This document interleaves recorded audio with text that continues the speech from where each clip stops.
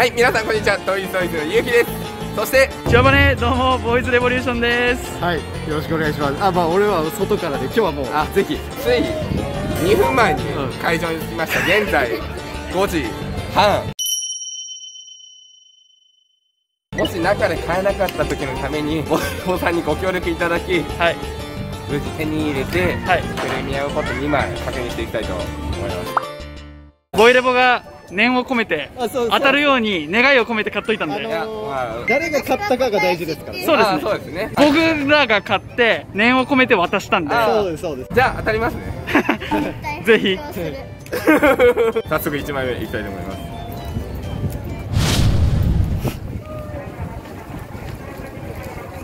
す。つけた、いきます。せーの。はい本当にさ一応一応今回この後お渡しするんで自分の金ではあるんですけど、はい。ななんだろうこの当ててもらったか。なんだろうこのなんていうんですか？え？なんていうんですか？ありがとうございます。しょうがないな。いつも言うんですけどこれ。ボイルもよかったら当てすぎいないですね。きますね。はい。せーの。じゃん。いきますね。はい。せーの。ほい。みさきちゃんだ。ということでした。いや嬉しい。いやよかったですよ。まじまじコンビ。あなあ本当だ。本当だいや。本当に。むえなんで？ええなんでなんで？だって当たったんでしょ？え同じの持ってるいいの？え誰推し？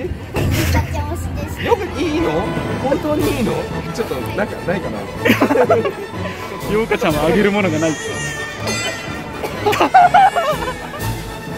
今日に限ってカード持ってきて。ああの時あげたんですけど回収しに。来ましたってそうえいや本当に。いやなんかあげる無理してもえーえでもちょっともう少しこれこれで面白いこれはこれでこれこれで面白いというわけでファンミから帰ってきました初のスタンディングイベントで声出しもできるということで本当に。本当に。ね全力で楽しんできて半分ヘトヘトでございます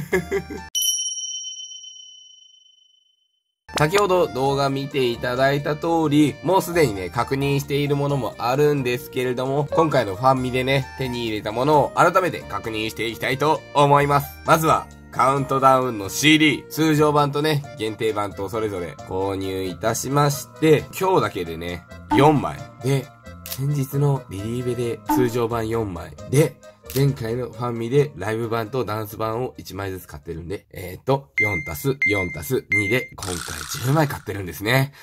恐ろしい。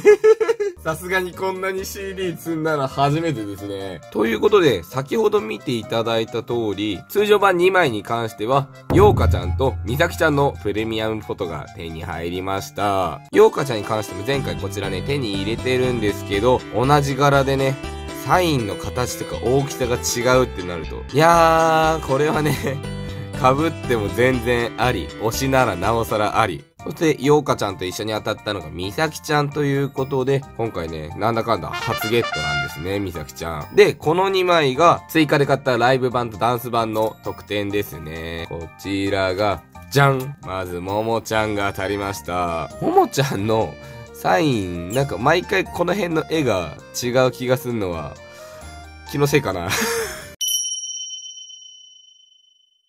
そして、もう一枚が、じゃん !4 人のサインが入ったプレミアムフォト。みなみちゃんと、とわちゃんと、ゆずちゃんと、みさきちゃん。これ1枚で4人分のサイン入ってるの、やっぱりレア度が高い。みんな可愛すぎませんか？で、何気に、みなみちゃんのサインも初ゲットということで、いつかはね、ソロのサインをコンプしたいところではありますけど、これでね、僕、ガールズガールズのサイン全員揃ったんですよ。ランちゃんを除いて。はい、どんどん行きましょう。購入品の紹介ですね。こちら。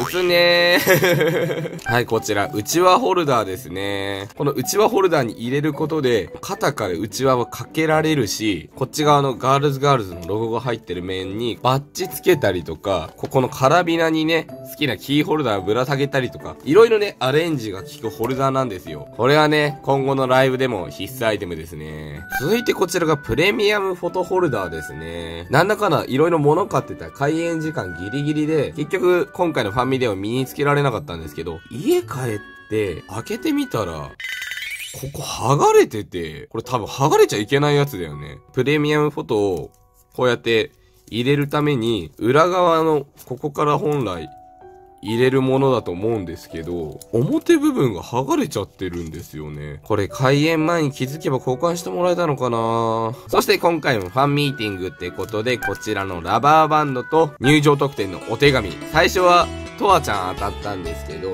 ボイレモのシオンさんがキラちゃん当たって、視聴者の方がヨーカちゃん当たってて、ヨーカちゃん、トアちゃん、キラちゃんの三角交換を行いまして、ヨーカちゃんのお手紙を、いや、レターをいただきました。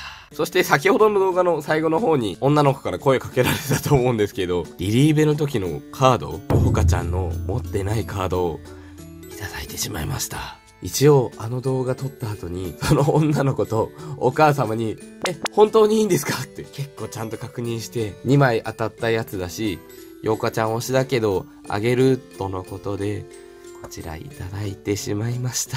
この動画、もし見てたら、本当にありがとうございます。もし、返してほしくなったら、会場でいつでも言ってください。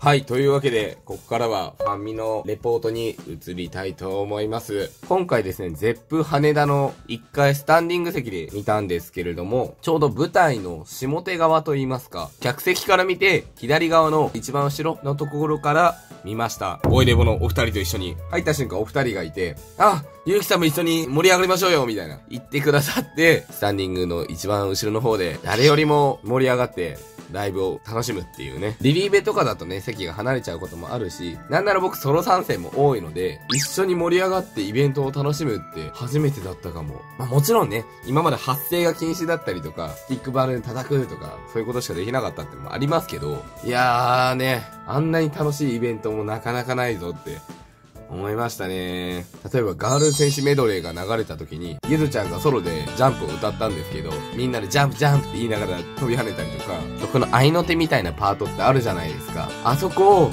一緒に盛り上がれるっていう、まさにライブなんですよ。コロナ禍でこの3年間できなかったことが、ようやくできるようになったんですね。僕、ガールズにハマったのって、ちょうどラブパトやってる時期で、それこそ前回の東京公演の時は、発声解禁にはなったものの、自分含めやっぱ客席全体として、どこまで声を出していいのかみたいな部分が、正直多分あったと思うんですよ。やっぱり3年間、大人もちびっ子も、その層が入れ替わっちゃうし、昔から応援してる人も残ってはいても、僕みたいな新参者も入ってきちゃって、なんならガールズの歴史的にほとんどがコロナ禍ですし、だから、やっぱ界隈全体としてどう盛り上がるかっていうのは難しかった部分もあるのかなって。ただ、そんなの関係あるかと。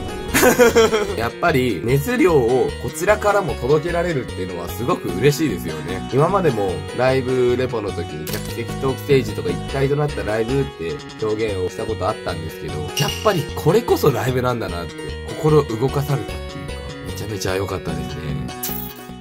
はい、というわけで今回は、ガールズガールズオープンファンミーティングカウントダウンリリースパーティーバイガルガルファミリーフレンド現地でのね、戦利品とレポート、レポートなのか？